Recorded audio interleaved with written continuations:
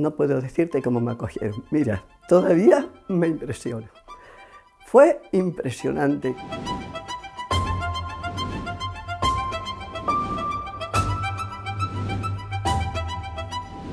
Pero el momento en el que me dicen que me tengo que ingresar en Madrid, pues ya empecé a asimilar que tenía una enfermedad y ahí ya empecé a colaborar.